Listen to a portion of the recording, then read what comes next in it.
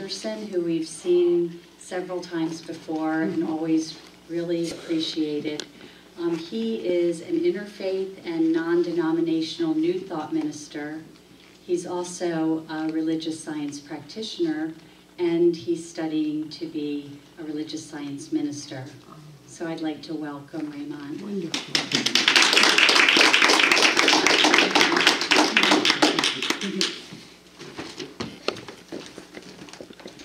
Morning, everyone. Good morning. So, how are we all today? Awesome. Wonderful. So, for those of you who remember me, you know I like to ask teacher questions. So, I would like to start off with asking you a question. I'm going to give you a word, and I want you to give me what that word means to you, right? So, we have this word life, we have this word living. What does that mean to you? Give me some things that connect to. What does it mean for something to be living?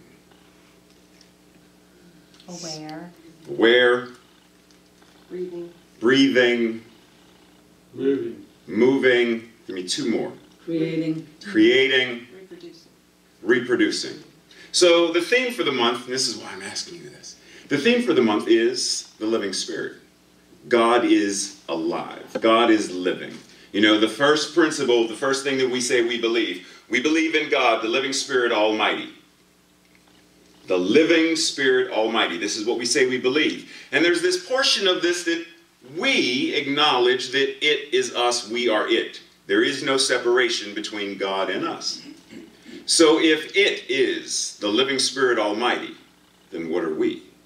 We also have to be this living spirit almighty. Therefore, all of the things that you just named have to apply to each and every one of us. Reproducing. What are we reproducing?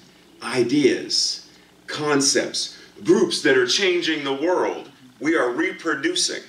We are breathing and being breathed. What else did we say?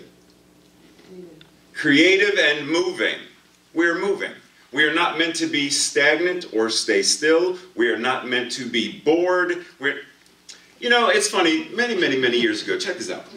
Many, many, many years ago, during my regular fundamental Christian days, I used to be bored a lot.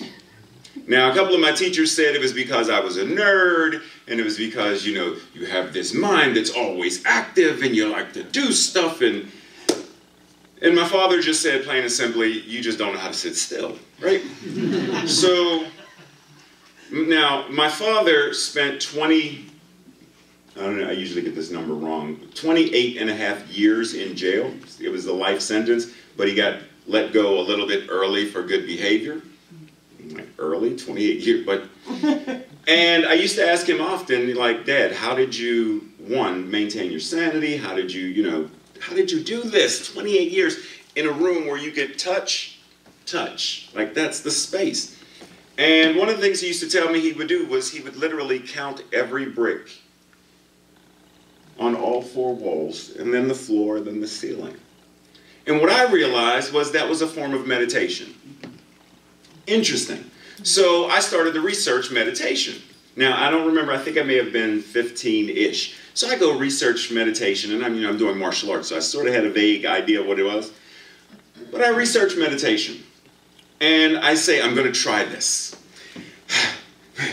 Okay, I'm meditating, and somewhere in there, like I slipped into this vision thing, where I'm now in heaven, and God is giving me a tour. And then God says, Come in, I want to take you in, I want to show you something. And we go into this boardroom, and He starts this PowerPoint presentation. and there's this pie chart, and it shows this is how much time you've spent eating, how much time you spent sleeping, how much time you spent drawing and painting. And see this large portion? That's how much time you've spent saying you were bored. Ah. And it was huge.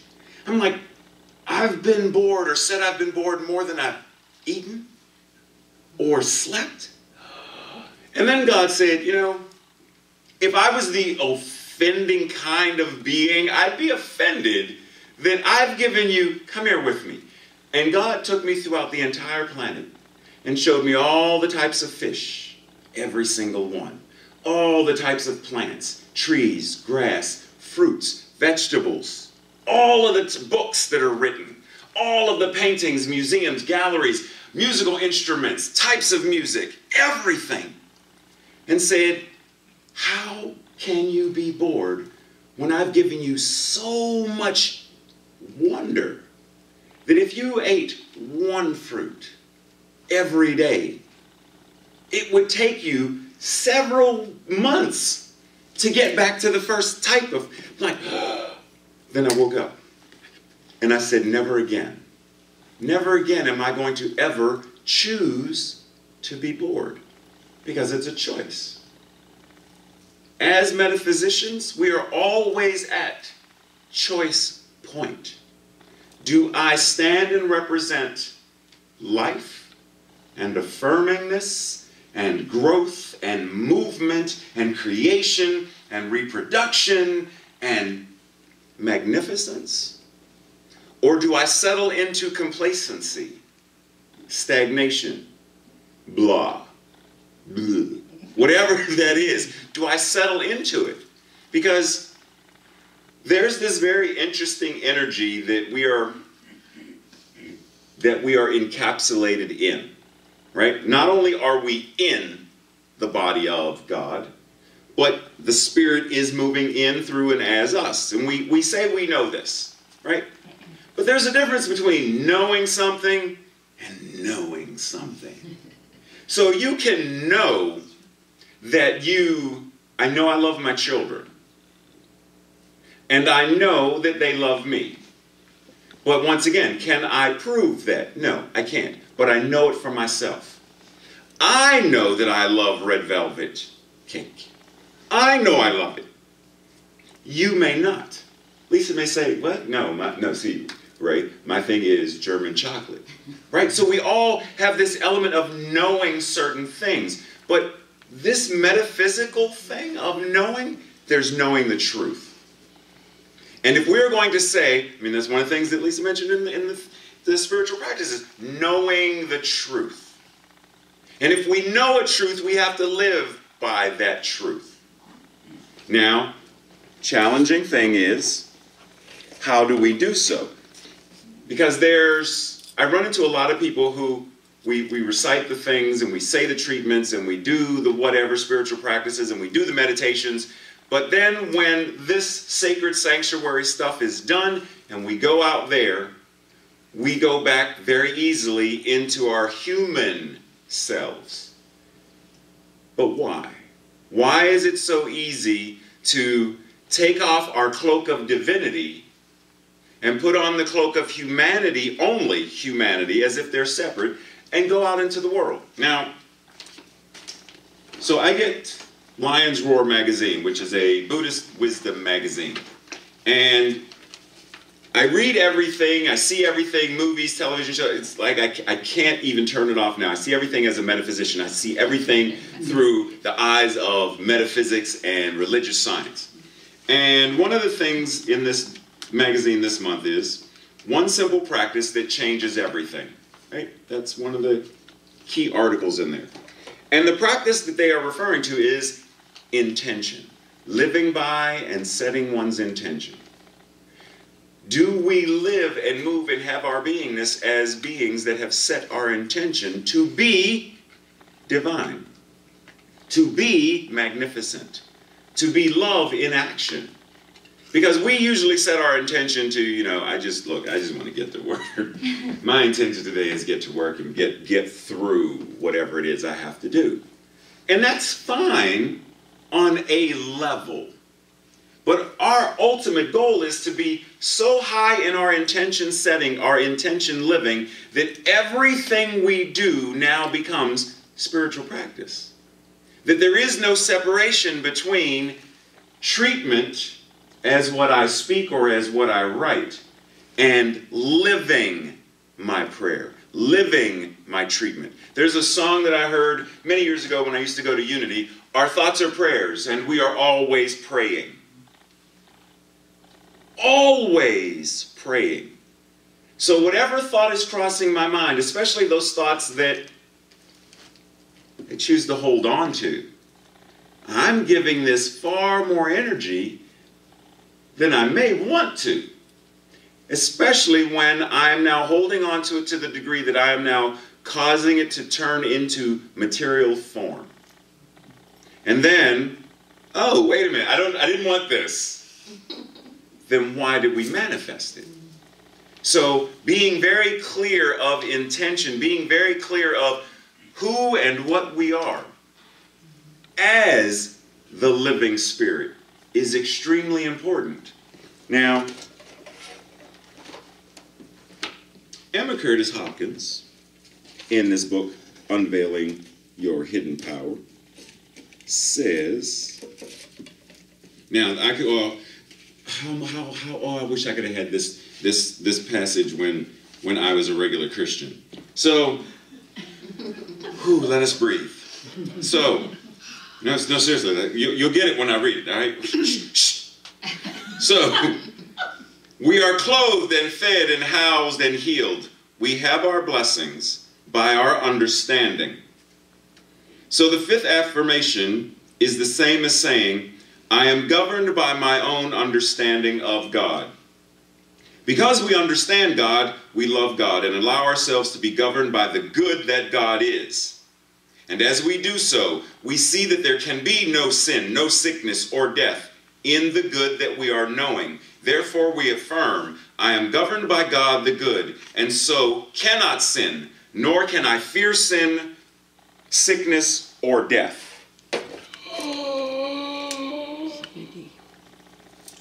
Not only can I not sin, I can't die. Because this fleshly thing is not who and what we are. And if God, the living spirit, is all there is, then that element of us that is it, which cannot die, there is nothing to fear about it or in relation to it. That's deep. But do we wake up in the morning and move about our day from this realization that I am not, one, I am not my name. If I go to the courthouse tomorrow, bright and early Monday morning, papers in hand, and say, Yes, I'd like to change my name. I would like to now be called Sherry Khadijah Jupiter Anderson. They will say that's what you want. Rainica. They will say that, okay, that's what you want to call yourself. Yes and I will pay the fees, and they will say, okay. So clearly, I am not my name because I can change my name.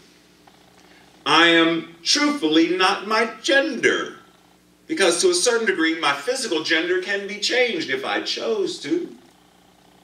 I can change my mind. There are a lot of things that I am not, but we identify with. But the one thing that we cannot change, you cannot change your divinity. You cannot change how magnificent you are. We can deny it. We can choose not to. That's why all these things are always talking about to the degree that we acknowledge, the degree that we become aware. We believe that heaven is within and we acknowledge it and we feel it and we believe it and we experience it to the degree that we become conscious of it.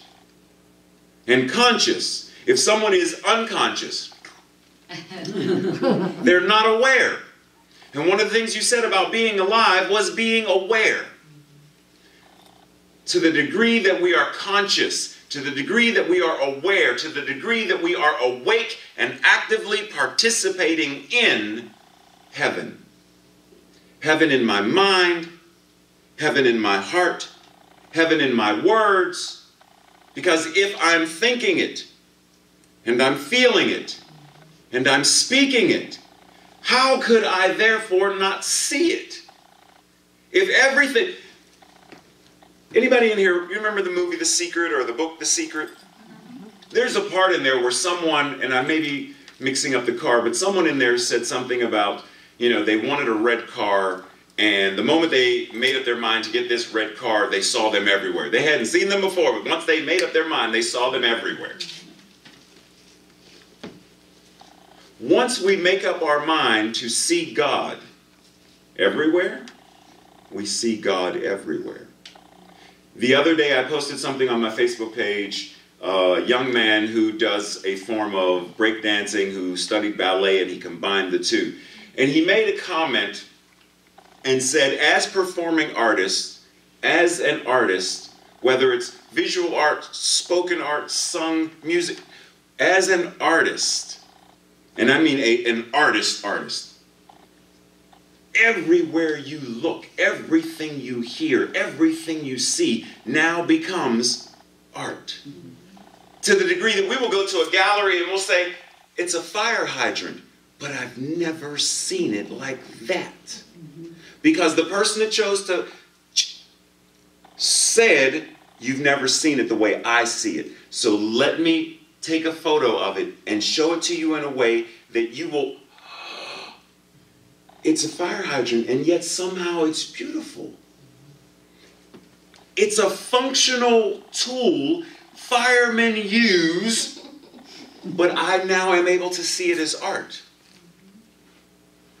When we are awake to our own lives, and our lives are the lives of God, we cannot help but to then become co creators, acknowledgers of the God in and as everything else. You know, it's funny that going back once again in my former Christian days, I was always feeling that something was missing. But I knew there was there had to be more. There had to be something something it's like when you're I don't, I don't I don't know if it's pepper, I don't know if it's salt, but it's missing something. I just it was missing something. And then later I realized I know what it's missing. It's missing something that I was unable to join in because it's a theoretical thing. This thing that we do, which is why it's very difficult for many, is a practical, hands on thing. It's a practical, hands on. You can't theoretically take a recipe and theoretically cook it. You can't take a book on auto mechanics and theoretically read the book but never touch the car.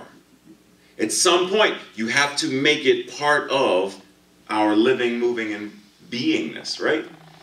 So I remember, and you've probably heard this phrase before I am not my brother's keeper. Anybody here heard that before?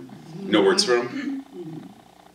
I won't test you on it. So there, there are these two guys back in this place. Uh, their parents are called Adam and Eve. And these two brothers sort of don't get along. And one vanishes. Just not sure if he caught a plane or whatnot, but one disappears. And so God calls to the other one and says, Hey, hey, where's your brother? And he says, Am I my brother's keeper? Like, why are you asking me? Why are you asking me where he went? when I first heard that, something went through my mind. Like, what, what, what, what? I, do, I don't, it's, it, there's something deeper to this. There's something missing. And at the time that I was marinating on this, I was a student at Carlow College, which is a Catholic women's college, which I'm neither. so that's very interesting. And being a Catholic school, there are tons of nuns. Now, I had a nun for algebra, I had a nun for research paper, and I had a nun for Intro to the Old Testament and New Testament. So I, I knew I knew some of the sisters, right? So I was asking this one sister one time, so sister, what, what does this passage mean to you? And she said something that I blame her, or I thank her, for starting me on this path of questioning, I mean, really questioning my spirituality. Ultimately, what she said was, You are your brother's keeper and your sister's keeper. That's basically what she said. Now I understand that to mean not only am I my brother and my sister's keeper, I am my brother and my sister. I am you. You are me. That's why some people are wearing these pens. Because what it's saying is if you don't feel safe, find me, come to me. If you don't feel honored, respected, I will respect you and I will honor you. I will listen to you. I may not be the one who can help you get through, but I will do my damnedest to do what I need to do for you. Because what I know is what I do for you, I am doing for myself. And what I am doing for you, ultimately, I am doing for God. Why does it say in Matthew 25 something, 25, 35 something? So, look, I was hungry and you fed me. I was naked and you clothed me. I was cold and you gave me warmth. Like, why is that? And then, and then the people said, but, but Master Jesus, when did we do this for you? And he said, You did it for me when you did it for that person, and for that person, and for yourself. When you have done it for the least of these, you have done it for me. Meaning, when we do for each other, we are serving God. So ultimately, this concept of what is it, my, what is mine to do? Serve. Now, how I do that? Thousands and thousands. I mean, there's no way to. There's a myriad of ways.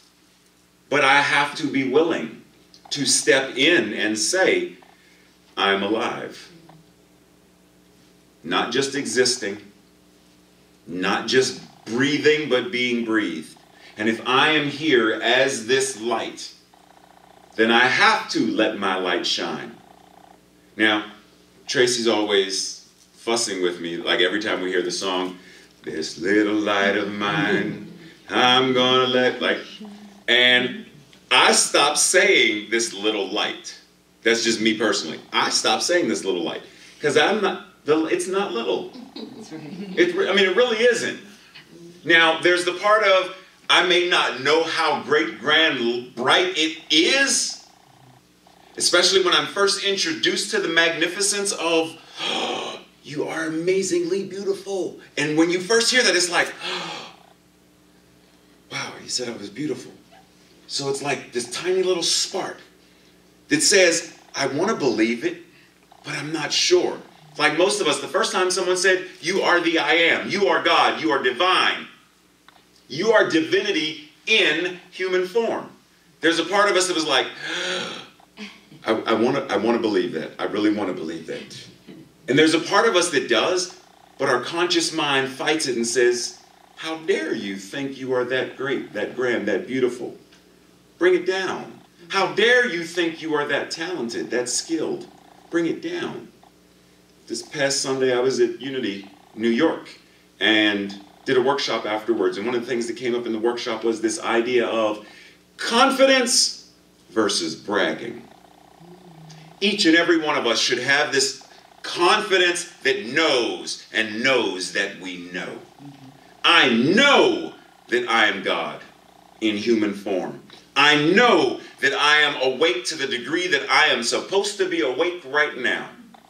I am creative to the degree that I am able to be creative consciously right here, right now. And I know that that can change. It can upgrade. It will never degrade. I can only move forward. Because once we start on that, I mean, we can take a three step back if we want to. But you can't. Anybody in here ever had chocolate cake? so you know what chocolate cake tastes like. Can you unknow? If you never eat chocolate cake ever again, can you unknow? No. Can you unknow what it's like to have children if you know? There may be elements of forgetfulness, but there's always a part of us that knows the truth. But we have to be willing. We have to let this little light say, I'm not really little. Right now, I'm little only because you're squinting your eyes. But if you open them to the full degree that they can open, you will see that this light isn't just, but it's a raging bonfire. It is literally the isness and allness of everything. Therefore, when you see the fire hydrant, you will see the, the aura, the light, the, the magnificence, the halo of God on a fire hydrant. You will see the aura, the, the illumination of God in that sparrow that flies to that tree or that squirrel. you will see it in everything, in everyone. even when there are people we don't want to see it. Because there are people that we don't. Namaste. I don't know what's it. We, there, are, there are people, and that's okay. At the level that we are, it is okay. Because if we don't acknowledge it, if we don't acknowledge that there is something there, whether it is illness, fear, if we spiritually bypass it, we are ultimately doing more harm to our own psyche, our own soul, our own spirit, in terms of our con, because we really can't hurt it, but in terms of our conscious acknowledgement of it, because now we're denying it. Feel it. I really don't like you. But it's not really about you. On some level, it has to be about me. Because you can do what you do. You can be as mean, as disrespectful as you could. That, that's your prerogative. I don't have to let it affect me. I can choose to say, for example, suppose suppose someone comes up to you and they say, "You know you're an amazing person." What do we what do we immediately feel? I mean, we may feel shy, we may feel, "Oh, well, thank you." I mean, may feel something, right? But uh, there's some level of us that wants to receive it. But if somebody comes up and says, Rose, you know, I, have traveled the world or whatnot, and I've seen a lot of flamingos. And you are probably the tallest flamingo that I've ever seen. like someone says that, and you're not going to be like, oh, Ray said I was. You're going to say, is Ray okay? like, Lisa, do we need to pray about him? Because he thinks I'm a flamingo. Like, there's nothing in us that receives that because we know it's not true. But if someone says, we're stupid, oh, did that resonate? That person that I don't like, that person that pushes my buttons, that person that makes me want to, ah! it's not about them. They're giving me the opportunity to turn my gaze this way and say, what is in me that allows that person to stir this response? And be grateful for it. Because that's also part of being alive. Being living means we are going to go through these peaks and valleys, these frequencies. And the frequencies aren't bad. Our heart goes through a boop, boop. We don't want that boop, boop to not go through those because then it's an irregular heartbeat. Waves, light, all of this energy moves in this way. Sound. So, this, whatever this is, is great, is natural, and is fine. But I have to be willing to set my intention, to live from that place of knowing there is one Spirit, one living Spirit, one living Spirit Almighty that is everything, that is a circle, that is all that is. And how great and good that is. And if it is great and good and magnificent and allness, then it is me. And if it is me, then I'm good. And if I'm good, then all of the things that I say about myself. Because think about this we talk to other people, right? We have conversations with people. But who do we talk to far more than any husband, wife, lover, child? We talk to ourselves far more than anybody else. And if the words we are saying to ourselves is, wow, you're so stupid. Oh, why can't you ever do anything right? You're so clumsy. Or why am I so clumsy? If that's what we are saying to ourselves, then what we are doing is dismissing the truth of God, dismissing the truth of who and what we are, dismissing all of our magnificence, rather than saying, Yes, I am a human in human form. I am spirit in human form. Yes, I have the cloak of humanity, but I know that this is not all that I am. I know that I am light, I am love, encased in this human spacesuit. And I know that if that's what I am, then I am here to do great things because how could I not be? How could I not be here? How could each and every one of us not be here to do what is ours to do? If you are here to be a street sweeper, then sweep streets the way Michelangelo painted. If you are here to teach, then teach in the ways that it's going to illuminate and enlighten as many people as possible. Whatever we are here to do. Because everything we do is now our spiritual practice. When we fix food for family and friends, we're imbuing love into the food. When we buy coats or everything we do becomes a spiritual practice. Because that's what we are. Let's treat. Simply allowing ourselves in this moment to be breathed.